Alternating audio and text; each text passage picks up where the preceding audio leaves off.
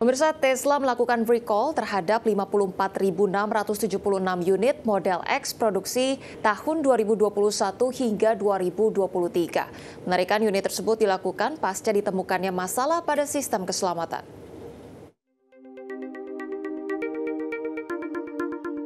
Produsen otomotif Tesla mengumumkan penarikan terhadap puluhan ribu unit model X.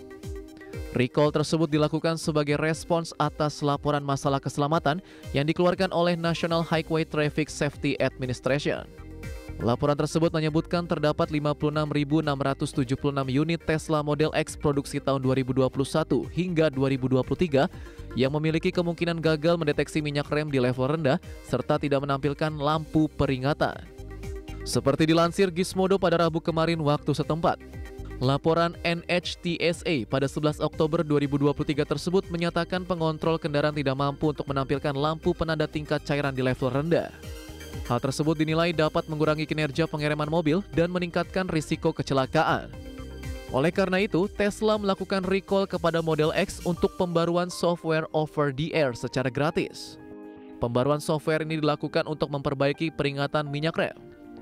Selain Model X, Tesla juga pernah melakukan recall terhadap Model 3 dan Model Y pada Agustus lalu.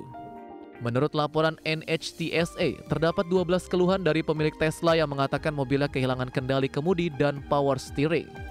Berbagai sumber IDEX Channel.